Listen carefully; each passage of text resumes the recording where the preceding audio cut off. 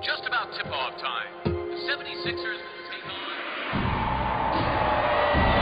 Iverson takes a hard foul. Returns to the lineup. Plays hurt. Of course, the shoulder had been injured despite the injury. Iverson drops 23 and has a career Five injuries to the right knee. Iverson pays the price. This guy is a warrior.